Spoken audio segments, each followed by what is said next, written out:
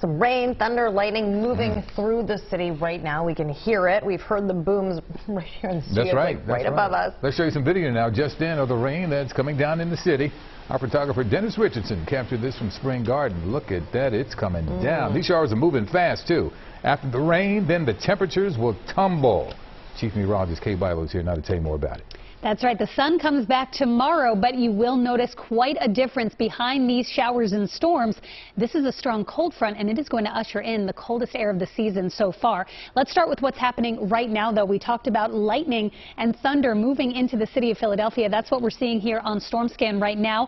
Although the heaviest has already started to shift east out of the city right now, you can still see we've got scattered showers and storms all across the region, with the heaviest right now just moving east from Philadelphia into portions of South Jersey. Let's zoom in on a couple of spots and you can see the lightning and the heavy downpours that we've been dealing with. This one cell that has just moved east of Center City. There is still some lingering rain, but that's the heaviest, the strongest storm we have right now. We also have this line of showers and storms just south of Wilmington. So focusing on, on this, you can see this is uh, the gray denoting a lightning strike that happened about five to 10 minutes ago. It is now moving east and not seeing as much fresh lightning right now, but if one pops up, there we go. There's a new lightning strike that just fired up there right over I-95.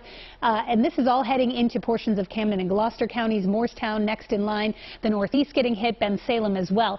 As we continue further southward, again, you can see these yellow shaded lightning strikes, an indication that they happened very, very recently. As this line starts to push into Salem County, and you can kind of see that little hook echo shape, an indication of some possibly gusty winds. So far, the strongest wind we've had reported was 30 miles per hour near Wilmington. You need winds to be 50 plus, 55 plus to start to talk about severe thunderstorm warnings. So these are sub-severe, but they are quick hitting and they are menacing storms moving through. You can see another line we'll be watching. This just starting to push into portions of eastern Maryland and could impact Delaware and South Jersey before the evening is through. So this line of showers and storms intensifying as it moves into our region, sent our way by this large upper level storm system, which is keeping some of the coldest air we've felt this season locked up to our north and west for now. After we get through about 8 o'clock, though, at least in Philadelphia, it dries out. Our next rain chances go down to about zero, but there will be shower chances at least down the shore up until maybe 10, 11,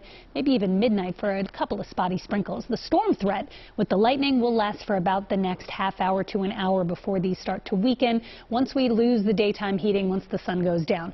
45 degrees tonight, a shower thunderstorm still around for the next couple of hours, then temperatures tumble. 45 degrees tomorrow morning in Philadelphia, 30s across the north and west suburbs. It's not going to be quite as chilly down the shore because clouds will take longer to break. Clouds will keep you a little bit milder overnight.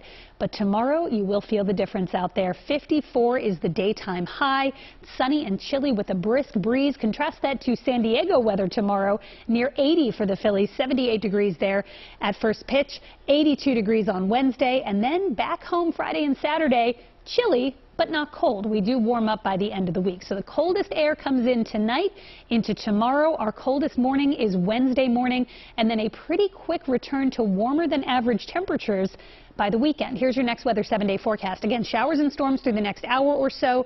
Then we clear out and cool down. 50s for highs. 30s for lows for the next few days. Expect widespread frost, especially Wednesday morning, and then a gradual warming. Looks like we're headed back towards 70 by the weekend. Hmm. Yuki and Jessica, back to you. All right, here we go. All right, Kate, thank you. Sports